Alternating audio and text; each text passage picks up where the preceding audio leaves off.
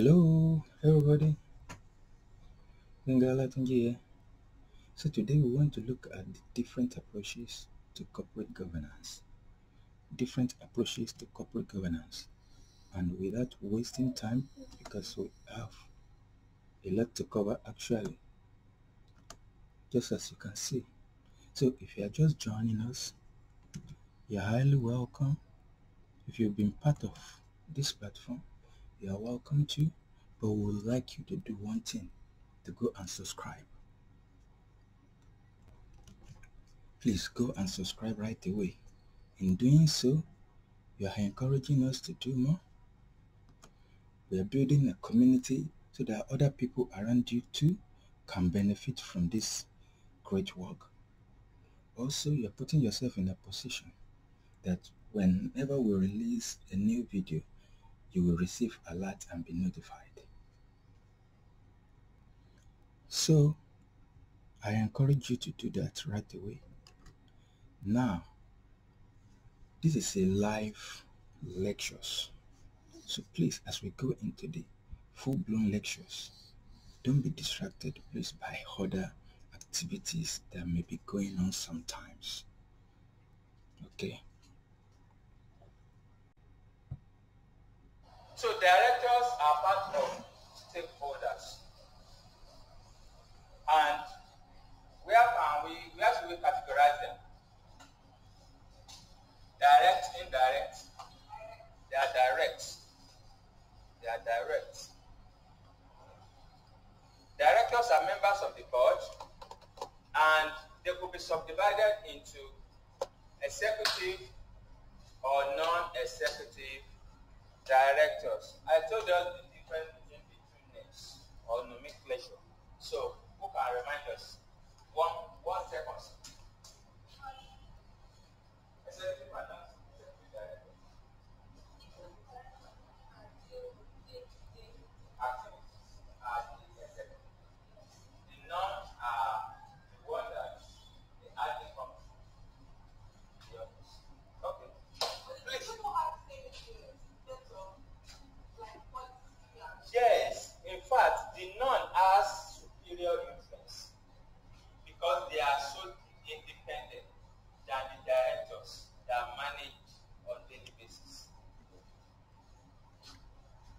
Their voices are more louder, the non-executives,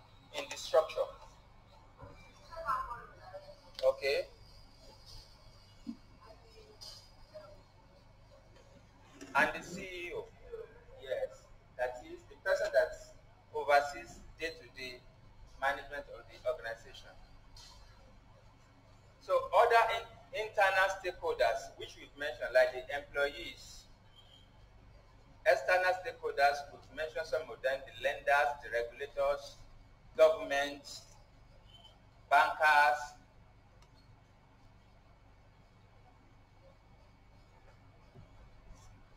institutional investors. Maybe I should pause there. In Nigeria, who can we call? Who are institutional investors? In Nigeria, because what I observed from our part, you see a lot of UK experiences and the like are practiced in Nigeria to bear in that note. Yes, this UK, yes, uh, so that, that shows us that a institutional investors, who are they in Nigeria? Let us use Nigeria experience now. Yes, they are part of the external stakeholders. So who are they? In fact, they could equally be internal, depending on if they invest in us, they become internal. Madam Vivian, you want to read for us? Or you want to answer?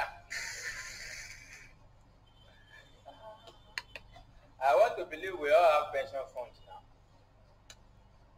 And we have pension funds. Uh-huh. And those, our pension fund, actually, we cannot collect it. So those funds are being invested. So into some businesses, organizations, and the like. So the PFA pension fund administrators actually as part of the institutional investors. Are they what? Stock exchange is part of where they put our money into to invest. So we can say they are players in stock exchange, but they do not necessarily need to invest everything in stock exchange. Okay.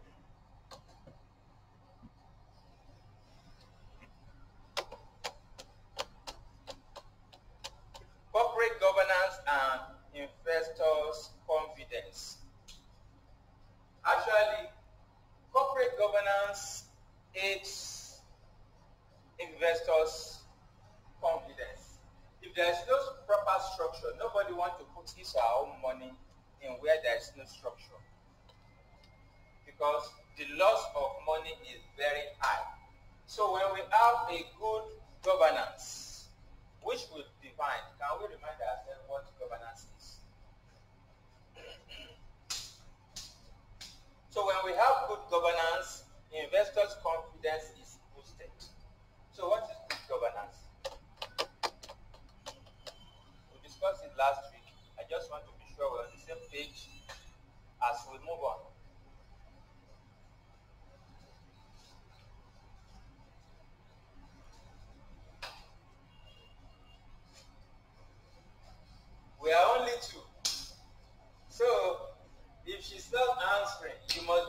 answering. So,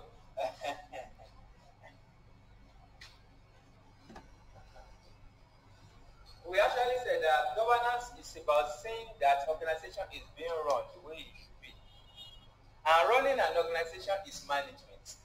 When we see that it's being run, that is governance.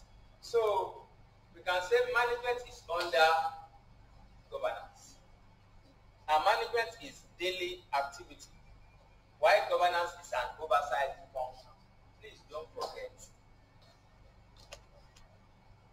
So now we have to go to US again. According to Otto Levitt, he happened to be former chairman of Stock Exchange, US Stock Exchange. He said the following, that at the time of the Enron's collapse. We remember Enron, one of the big organizations that collapsed in 2001. And the heavy fall of the stock exchange, which equally affected us in Nigeria in 2008, 2007. If a country does not have a reputation for strong corporate governance practices, capital will flow elsewhere. That is, where there is strong governance, where they know that their money will be well guided and catered for. If investors are not confident with the level of disclosure, capital will flow elsewhere. If a country opts for lax accounting and reporting standards, capital will flow elsewhere. So we see all these components form good corporate governance. So there must be good reportage in, in, which we are key player in financial reporting as accountants. There must be processes for investors to have confidence and to put money in anything in the country or in businesses. Or enterprises in that country, regardless of how steadfast a particular company practices may be, will suffer consequences. We now see why Nigerian companies are not being well funded because of lack of corporate governance. And people are not ready to invest their money, and even banks are not ready to lend because of lack of corporate governance. Market exists by the grace of investors and it is today's more empowered investor who will determine which company and which market will stand the test of time and endure the weight of greater competition because they must put their money inside. It serves us well to remember that no market has the divine right to investors' capital. So all organizations must work their way through to boost the confidence in their operations. Agency theory. So we are at it again. So an agent is a representative of someone else or of another organization. And when an agent acts in that capacity, and let's say the agent was wrong, in law, we, we say something happened.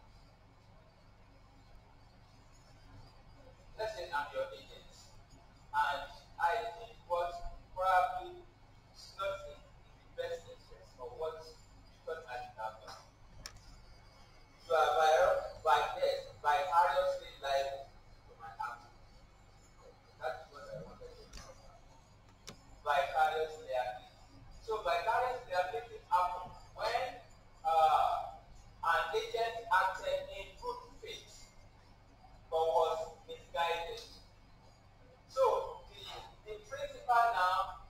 vicariously liable. We say the principal is vicariously liable because the agent has acted wrongly, but not out of his or her capacity. So, vicarious liability will arise. Please don't forget, that's like a digression, but very important in this topic. So, an agent is a person who acts on behalf of another person, the principal, in dealing with other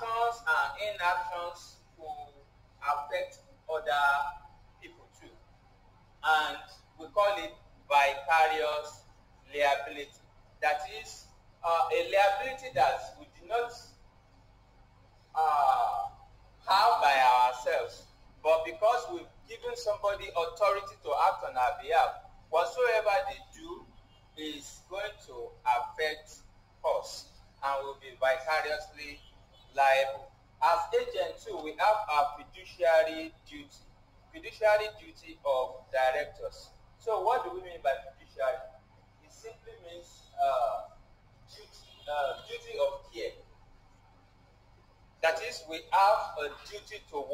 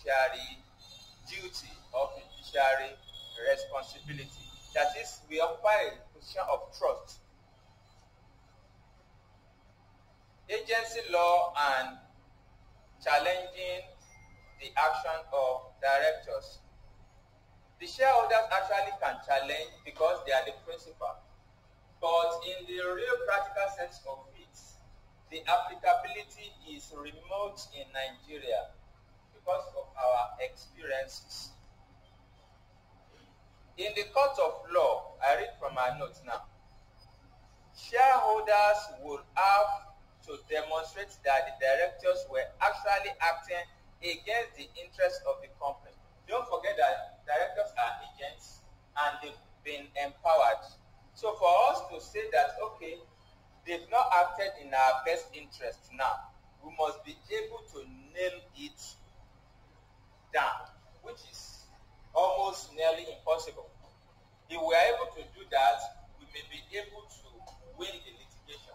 But if not, it's practically almost impossible to address that in the law court. In summary, although there is a legal relationship between the board of directors and their company or the shareholder, the shareholders cannot easily use law to control the decision and action of the directors that they've taken on their behalf, simply because authority and responsibility has been given to them, and taking taking it back requires a lot of work. But nevertheless, the, the directors can still be voted out. For that means we must have a lot of uh, uh, special resolution. And if we cannot meet up with the special resolution required, we will not be able to vote them out. So we can conclude that it's better we do not put somebody in position of directorship, if we cannot trust him or her, because once they are there, it's difficult to get them out. It's not impossible, but it's difficult to get them out. So trust is key, and it has always been key in business life. And the reason Nigerian businesses are not that functioning compared to the UK and US is trust is significant in those countries than here people go by trust. Even without monitoring, they will do what is right. But in Nigeria, even with you monitoring, you still find out that uh, I've lost the money and uh, I was even there. That is the Nigerian experience because of a lack of trust. So agency conflict, that is like the uh, vicarious liability I mentioned, which can happen. So,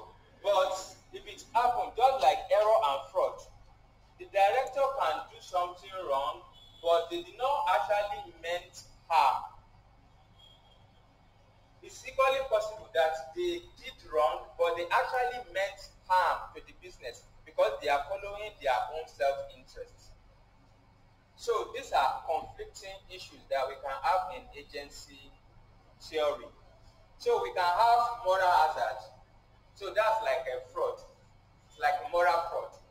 They know what they are doing, but they pursue their self-interest. Two, their effort level can drop. I just want to collect my own remuneration and like whether they make profit or not, I don't care my director sitting allowance, I just want to collect. So that is one of the reasons they said uh, Code of Conduct proposed that we should ensure that we tie what they make with their effort level. If not, they will drop the effort level. Ogata Oga that Yoruba used to say. That is, whether the principal make money or not, the salary should just come. So when they take that position, any retention too, anything goes. Whether we sell, whether we do not sell, I should just make my own money. The remuneration of director and the senior managers is often related to the size of the company. We will agree to that, rather than its profit. This gives manager an incentive to grow the company and increase its sales turnover and assets, rather than to increase the return to the company's shareholder.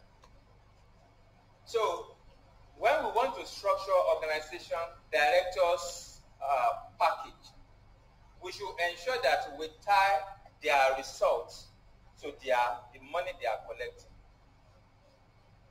That is the, the impact of their activity. We should tie it to their remuneration. Because if we do not do it, do it like that, shareholders are going to be affected. So let's take a look at this example. Let's say we tie it to, to sales, volume of sales. And directors know that the, the higher the volume that we make in a year, the better for us because we are going to have our commission and like.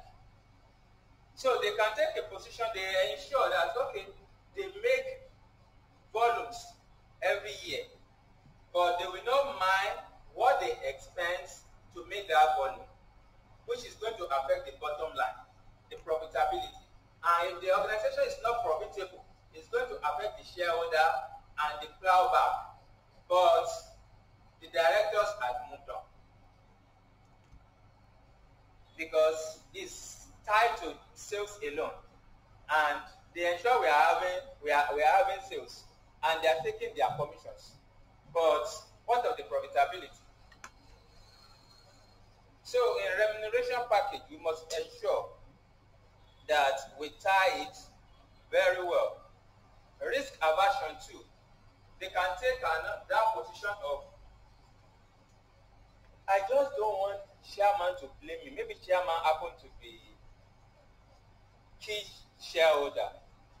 So even though they know that that business is highly profitable, but they are risk averse. That is, they do not want to take much risk. They do not want to be blamed. So they will be making, doing what they know that, okay, the chairman will not blame them. And their own salary or remuneration will come in. And it's going to affect the organization and the owners. Time horizon. Shareholders are concerned with the long-term financials, but the directors are concerned with what? more or less the short term.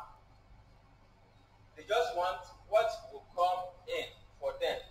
And we see that everything we've been talking here now is all about ensuring that director's package is well tied to different aspects of our business. If not, if we just link it to one or the other, we'll see that that aspect will be thriving. But to be against the total continuity of our business at long run. Agency costs. Just like when we will send a child to go and buy something and we, we give him or her money to go and buy and he or she came back has lost the money. That is agency cost. So agency cost simply means what amount goes into having directors on the board. What amount goes in into having directors on the board. Unlike if we do not have them, we will have saved those costs. So the cost of sitting allowance, cost of travel, cost of even when they make wrong decision, so all those costs are agency costs. And some of them are actually avoidable, while some of them are not avoidable.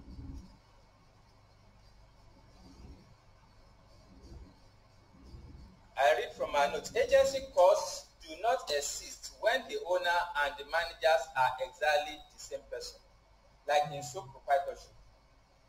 You run your business, you are the director, you are the shareholder. So no agency cost. Agency costs start to arise as soon as some of the shareholders are not also directors of the company. So divided interest begins to come and we have to have supervisory role in form of maybe internal audits, audit committee, directorship put in place. Agency costs are potentially very high in large companies. In fact, in Nigeria, agency cost is is greater than even what shareholders or other employees are enjoying. Where there are many different shareholders and a large professional management, agency costs can therefore be defined as value loss.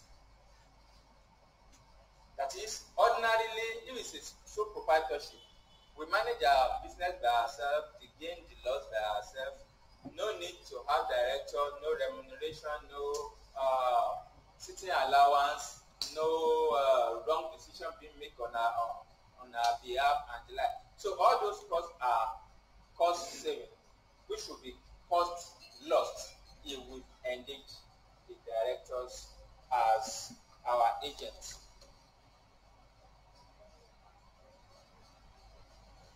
So basically, we can divide agency costs into three. The cost of monitoring, the cost of them having wrong decision. The third aspect of agency cost is incentive, that is remuneration. Monitoring them, that is why we have board of directors, so that we can monitor the performance. Then the cost of them having wrong or making wrong decision and we are vicariously liable. That is another cost. Then the last but not the least cost is we have to pay them, remunerate them so that they can continue to work better. Don't forget that directors come with experience, knowledge, exposure, insight too. So we cannot say it's, it's good enough to simply go on sole proprietorship I just want to run my business alone. There's a limit to what individual can achieve. So, but at the same time, when we continue to grow, we should be ready for that to be lost too in engaging other people to work for us. So how can we reduce agency problem? Maybe we should quickly discuss that so that I will not just doing all the talk. We know what agency are, we examine agency costs. so, reducing the agency problem now. How can we, based on your experience,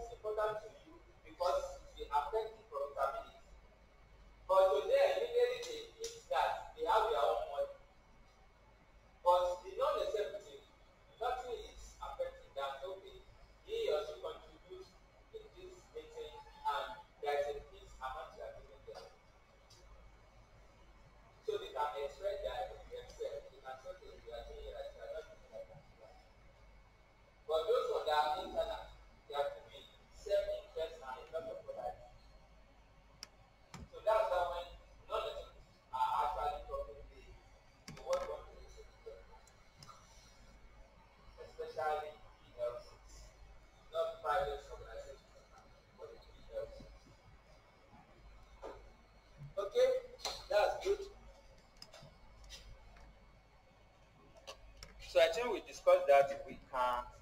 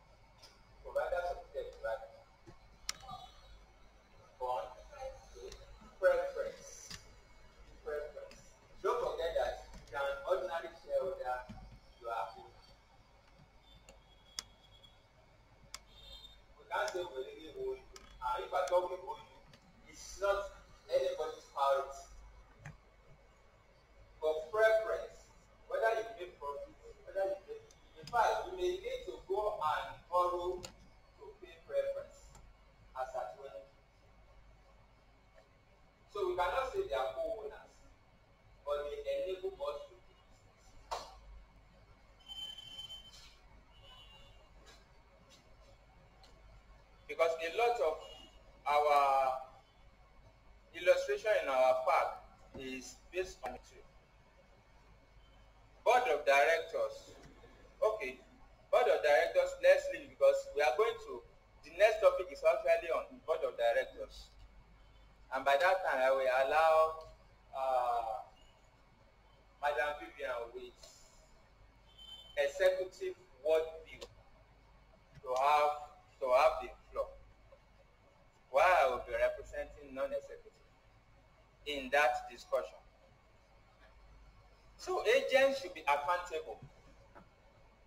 And that is one of the things in Nigeria we lack too. We want that position of power.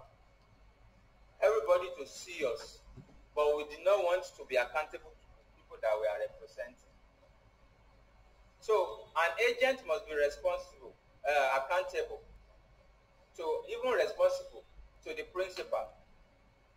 Like in politics, the principal is the citizenry. In organization, the principals are the shareholder.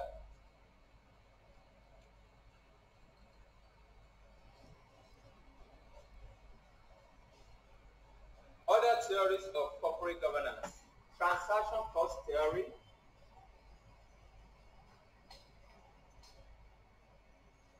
bounded rationality, opportunism, you're welcome, still worship, managerial hegemony, psychological perspective theory, we are going into them now, governance of IT, let me go back. We pick them one.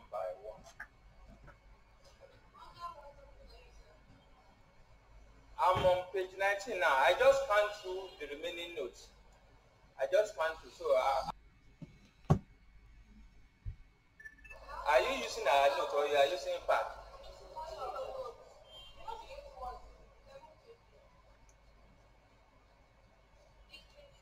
Wait, oh.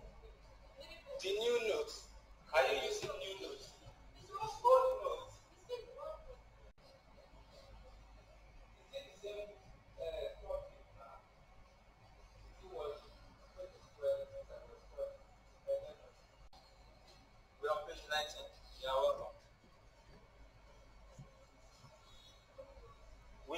Your scientific approach. I hope you are okay.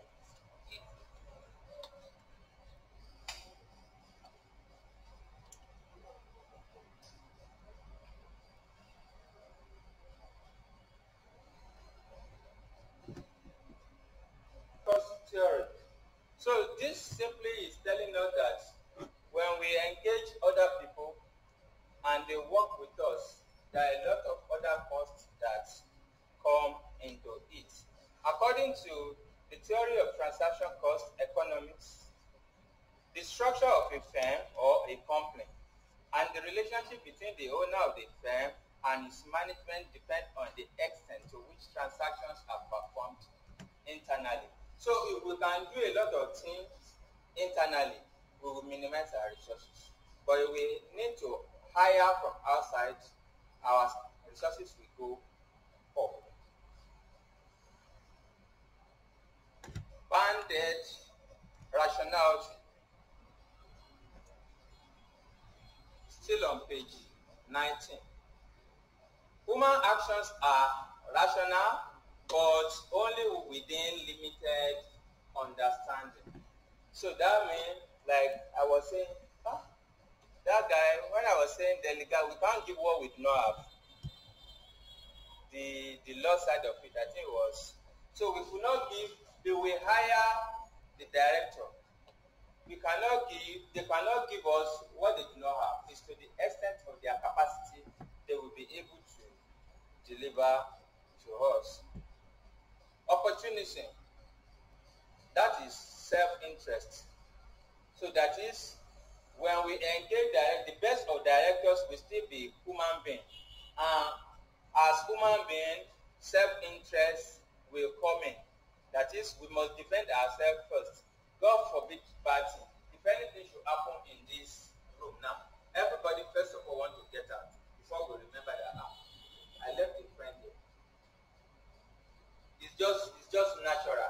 So when we engage other people, we should know that that that that will happen, and that's why we need to build corporate code of governance around it to minimize all those things. Like Vivian said, we cannot actually eradicate it.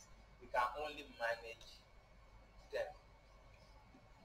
Stewardship. A director must be accountable. Steward it's a position of trust and we must be accountable for what resources have been given to us to manage.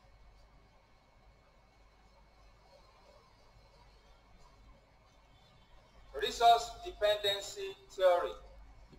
Everything functions based on to what extent we have resources to utilize. Resources, resource dependence theory look at how the resources of an organization affect its governance and behavior. So, uh, big organizations have bigger income, at the same time bigger expense and cost too. While organizations with less budget we equally have minimal revenue, minimal return, minimal expenses. So everything is based and dependent on the resources that is made available to us as an organization. Managerial hegemony or the theory of class.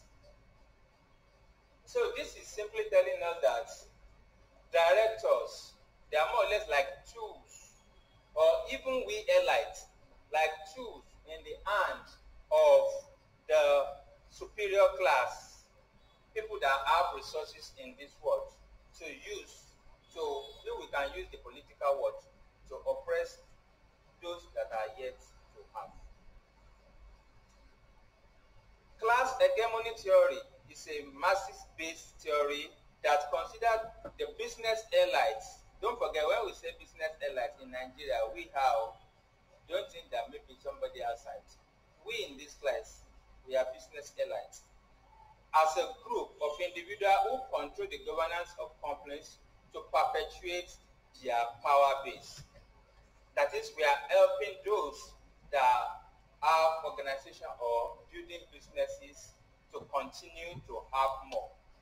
And in them continuing to have more, if they do not have good and sound corporate governance, they will continue to do whatsoever and achieve whatsoever they want to achieve at the expense of the society, people, governance, and the like. Psychological and organizational perspective theory. A number of behavioral and psychological theory of corporate governance have also been developed.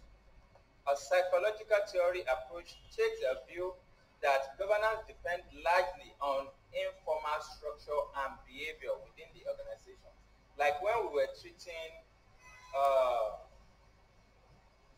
under ethics, organ the organizational web, organizational web.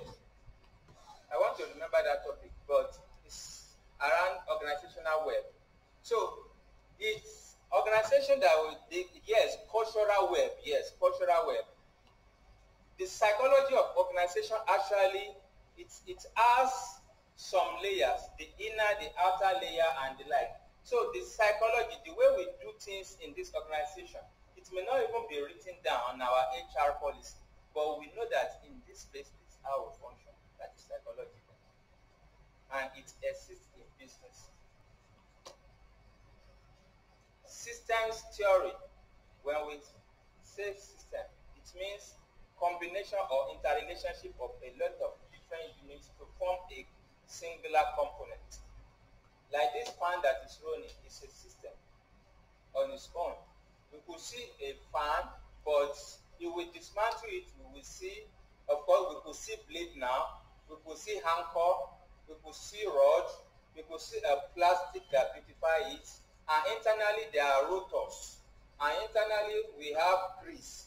All those ones, we could not but this is a fan system. So when we are talking about system theory, we are talking about different components of organization that make an organization to function as a singular unit. And as accountant, we should be systems builder. We should be building systems. We are being trained to be system or systems builders. Governance and IT. Mm -hmm. I don't know why we have this in our, uh, uh, but we just quickly define uh, governance and IT. Like COBIT, people that are offering audits will, that is the uh, topic COBIT in our pack, which I believe that is, it has never been examined, and I don't think it's going to be, because it's, it's a certification program on its own. And it borders on governance and how to set up IT governance in an organization. So if we look at governance and IT now, we will see it's a system actually. This is a system we are looking at. We see the finance, operations, marketing, and sales. I want to believe we know that marketing and, and sales, they are different units.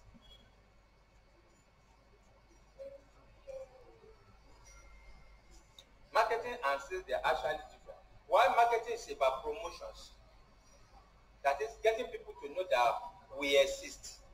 Sales is about actually handing our product or services to their hands. That is the buying aspect. Sales is the buying aspect. Marketing is the awareness aspect. Do we understand? So then we have administration, human resources management, then the infotech itself, risk system and internal control, that the external auditor and the like, strategy, and that is at the corporate level, compliance and the like. So this is an organizational system that we are looking at under IT governance. And all these aspects and many more of organization must be governed. That is, we put code of ethics in place and processes to ensure that they conform Financial reporting, which relate directly with us, is a department too. Policy and procedures. That one can fall under administration. Then we must delegate. IT governance now.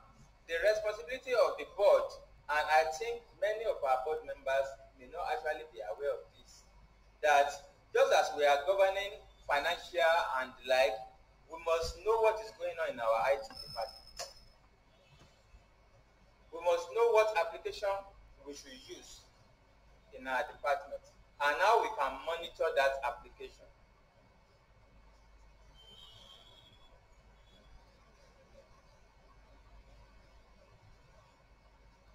With respect to information technology, the director's duty includes ensuring that adequate information technology and information system are in place, first of all.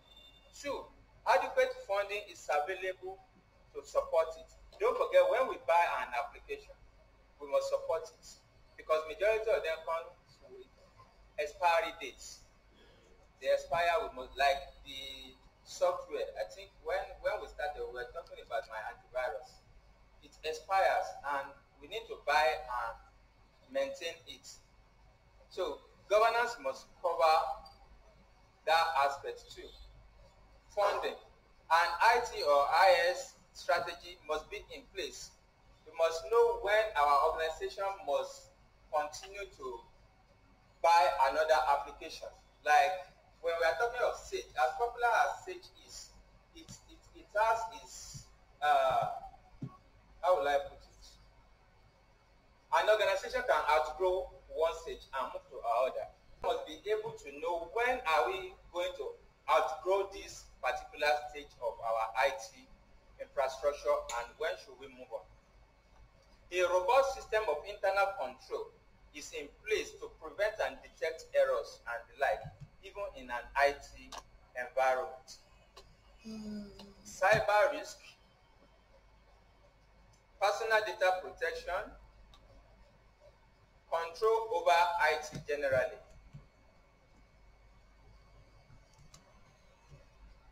personal data protection. Do we know that ordinarily? I don't know. If we don't know this, please know. If you are given uh, a company laptop, you are given a company laptop, even though they will not say you should not use it for personal use, it's advised that you should not. Even when they are not monitoring it, nobody is taking it away from you but it's advised that you don't because it can be monitored. Even when you've deleted everything from your hard drive, hard drive and they can always retrieve anything that has gone to uh, any system unless you did not type it. Unless you did not type it. So it's advised we use organizations uh, system strictly for that business. Even if we are given phones,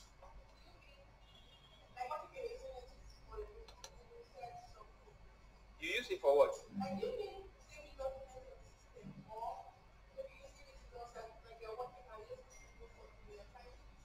Yes, any anything you do, whether you save or you do, you watch YouTube, your uh, all those your uh, site that you, you like, uh, uh, know that be, unless you do not do that on that system, it can be retrieved. Even when you've cleaned it up, it can be retrieved. The only thing that will not make it to be retrieved is until that hard drive is smashed into pieces. Likewise, phones too. In fact, that one is worst. The phone is worst. Are we observe something that when uh, the president and the like, when they, they really want to have some tough discussions, they do it walking. So let's let us show. And they will not carry their gadgets. Because when you switch off your phone, even when you switch off your phone, still recording everything that is going on in that environment. Do we know that? You are not recording, you are not using recorder. Oh. You switch it off. You switch your phone off. Your phone is still working. It's recording everything. But there are sophisticated, sorry, there are sophisticated applications to retrieve all those things. But what I'm pointing out is they are recoverable, even though you did not even put them there. Today we are talking about this one that if you put it there, phone is worst. Your private discussions and the like. That you switch on the phone, they can retrieve it. That a phone is somewhere around. That's why if crime is committed, unless the police and the like they are not ready to work, they can easily identify. That's the truth. They can easily identify. Even if it's touchlight phone, yes, because it it functions based on some fundamental IT basis. So we are in the IT world as good as these gadgets are. We like as we are like now, there are some fundamental things that we should know so that we will not fall victim later on. But it's possible at later on, maybe you now have misunderstanding which will happen at any time with that your IT manager and like. And the power that they can wage against you is, is almost without limits. And you will not just even have the slightest But you are you are completely exposed as far as they are concerned. Completely. They have all those applications, they can retrieve anything from you. Even those things that you think that they are maybe best secrets kept, or they are not even secret, you did not even keep them. Unless we do not have system around us, whether switched off or on, those things have a way of monitoring and recording our environment. So, class be mindful, maybe by the way, but it's important that we know this as educated people. So IT control, just like financial controls too, IT governance should cover controls. That is how IT administrator should monitor who log in, who log out, who used this application, when was it used, for what purposes was, was it used for, and like. Those are controls. Who have access to what? So with this, we come to the end of what we started last week. And you believe this is 10. But we should be able to finish the new topic today. Change to corporate governance.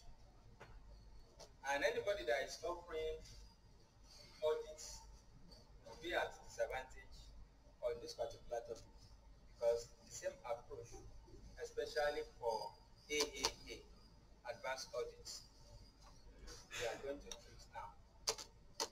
So basically two approaches when we are talking about corporate governance or regulating generally, any form of regulation. It's either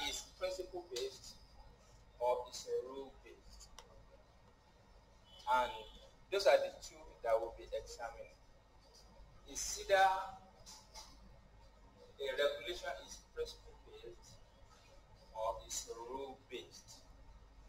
And we say, and when we say something is rule based, we are simply talking about highlighting the do's and the do nots. The do's and the don'ts. That is rule. So, and one major disadvantage of rule or rules are it stimulates the initiate, in, initiative of practitioners to not allow us to express our initiative, our creativity as professionals, as practitioners, is straight jacketed. But when we are talking about principle-based approach, maybe to corporate governance as we are studying here now, or as on regulatory environments, we are talking about not giving rules, the do's or the don'ts, but enlightening ourselves why we should do what we should do. Like in accounting practice or accountant's code of ethics is principle based and not rule based. So we see we have I want to know whether we're on the same page or we have elements of audits in us. Uh, can we mention the five elements of professional ethics? Yes. Okay. Okay. Huh? She wants to formulate. She say she's a regulator. she's a regulator. Okay, three, four, technique. I thought somebody mentioned confidentiality. No. Okay, confidentiality. I. Oh, uh, so it's technicality that has not been mentioned. So we will see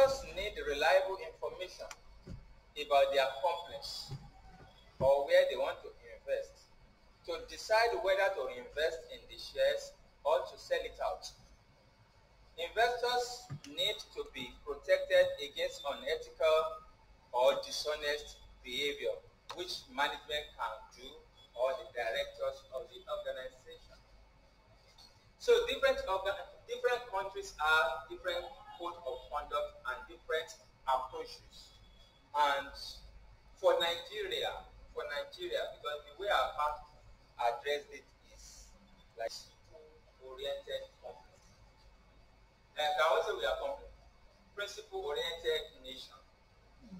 We are principle-oriented nation. So our code is based on principles, not on rules. Countries have developed corporate governance codes and practices because they want to attract and keep investment capital. And which type of investment are we talking about here? FDI, foreign direct investment. This is because investment capital helps the country's economy to develop and is compelling to prosper. Pressure for better corporate governance has come mainly from two sides or reasons. One, the collapse of the world stock market, especially that of US in 2001, another happened in 2008, one nearly happened like three years ago. Two, pressure comes from institutional investors. And when we started this morning, we touched on who institutional investors are. And we gave an example of our PFAs, our pension fund administrators. They are good example of institutional investor in our local HMO. HMO, no. That's the health management uh, organization. Their own is to uh, pull little, little resources together because when somebody is sick, somebody else is strong. And they make money from it. It's just like insurance. We insure for accidents, but we know that all Nigerians will not have accidents. So they take money from people, large number of people that will not have accidents to cater, cater for little accident that will come and they make their own margin. So they are they are they are not uh, investors. If they invest, they are into private investment. But PFAs, the, yes, it's Commonwealth investment because your pension, my pension, till as we continue to work before we can obtain it, are with them. And those monies, they are using it and making money, paying their staff, and giving us little, little returns. So they are institutional investors. There are some organizations too that they are strictly for investments. They are not PFAs, but they are institutional investors. I want to remember one uh, notable international company that all they do is to fund organizations or to buy business over. Yes, yes. They are institutional investors.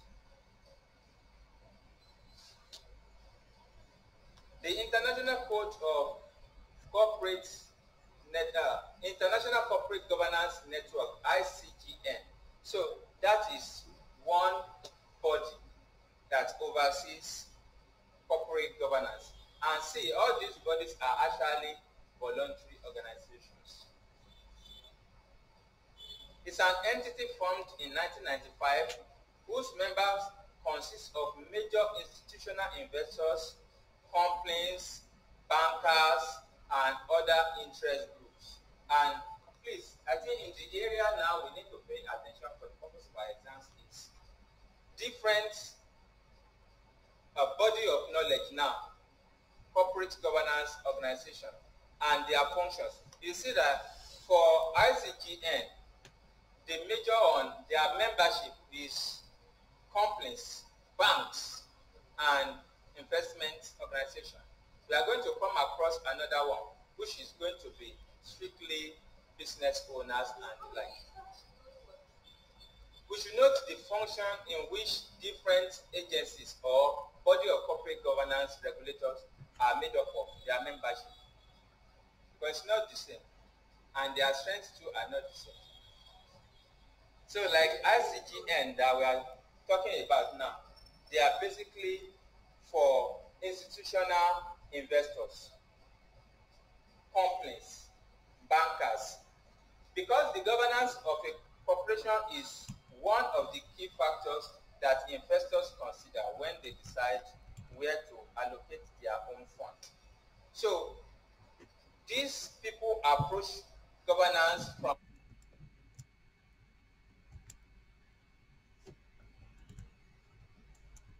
perspective. Don't forget that we have a lot of stakeholders that corporate governance must take care of. So these people now, they are okay. What I say we should note now is this. We have like three bodies. ICGN is one. We are going to come to other. What I'm saying is ICGN. Yes, yes. So ICGN now,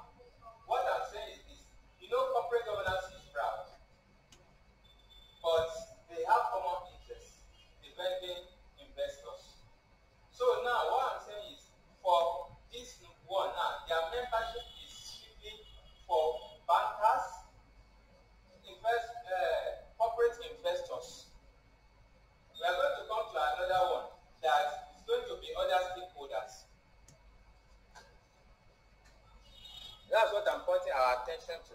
But their reason of existence is still the same to protect fund and investors.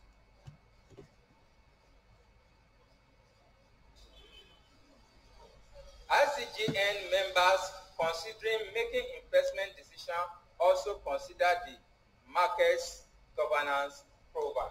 That is, how is uh, market environment in an in a country? How does it operate? Ethics and company performance. Of course, we will agree that an organization hardly will be able to grow above its ethics. Do we agree? Because our ethics is fundamental to our operations and who we are going to attract as investors, as even customers. Some people, because of our ethics, will not be our customer and will not invest into us. Let's say, for example, uh, Emir, like Emir of Kano, we know that they are custodian of Islamic faith. They will not, for any reason, have investment in views. Do we understand? They will not. Why? Because as. As yes, no, they can buy shares, but because of their leadership as to that faith, which is against alcoholism. You understand? They will know, they will not want. So our ethics form is a basis for our performance. That's where I'm going. There are some customers we will not have by reason of our ethics. And there are some that we will attract by reason of our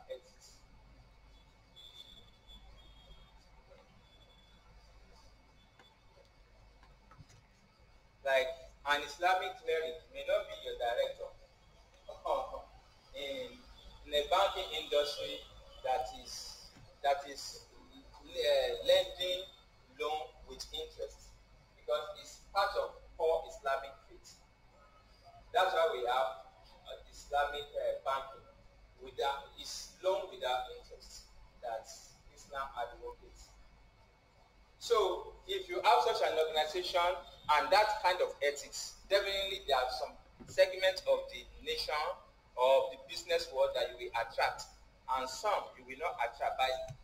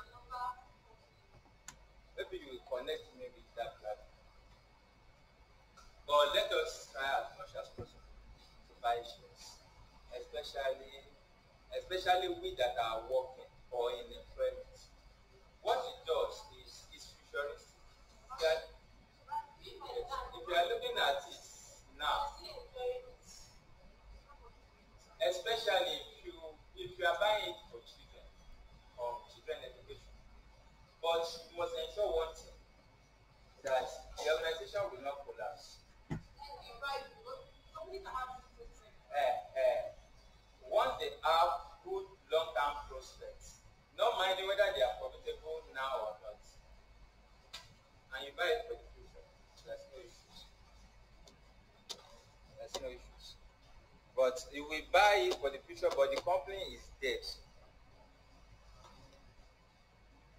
And we've experienced it in Nigeria.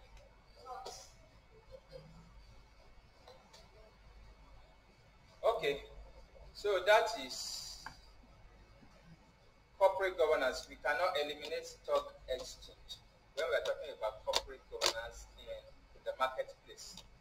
Laws and regulations on, I'm reading from my notes, on corporate governance issues are also mainly applied to stock market companies. So there's no how we really want to deal with corporate governance without talking about multinationals and the like. Like when we started with, one of the reasons we can minimize corporate governance issue is to go solo, right? So proprietorship and the like. So when we are talking about corporate corporate governance, we cannot eliminate talking about multinationals and stock markets. It's almost impossible. Other companies can normally decide what system of corporate governance they want, and they are not required to comply. But for stock exchange, compliance is key. If not, they will be delisted. Even in Nigeria, they delist if organization is not complying. So, rule-based approach now. A rule-based approach to corporate governance is based on the view that companies must be required by law. See now, law is don't must be required by law to comply with established principles of good corporate governance.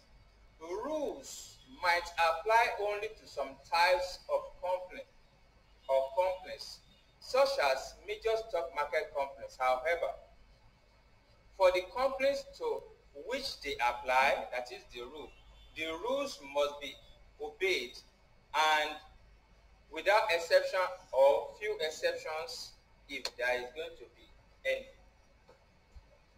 So rules are so straight must be complied with. There is no give me a reason why you are not complying. It's either you are complying or you'll be delisted. So rules have their their backup on laws. Advantages of rules. Companies do not have choice. No choice. It's either do or don't. And there is repercussion for do's and repercussion consequences for don't. All companies are required to meet same minimum standard and that is another issue. And just as we know, the composition of organizations vary from one organization to the other. But now giving them and putting them under the same rule is almost impossible because different conditions they, they are experiencing different conditions. So they are to adhere to the same rule is almost unreasonable. Investors' confidence in the stock market might be improved if the stock market companies are required to comply with recognized corporate governance rule. So that is an advantage. Disadvantage, the same rules might not be suitable. Okay, I've, I've said that there are some aspects of corporate governance that cannot be regulated easily, such as negotiating directors' remuneration. We cannot, we cannot put rules for that because your director will be different from my director, and they have different understanding, different exposure, different perspective, coming from different backgrounds. So how are you going to, a director, you must hand this, you must. There are some aspects of corporate governance that cannot be regulated easily, such as directors' remuneration, deciding the most suitable range of skill that they must have assessing the performance of the board and its directors is, is, is difficult to achieve.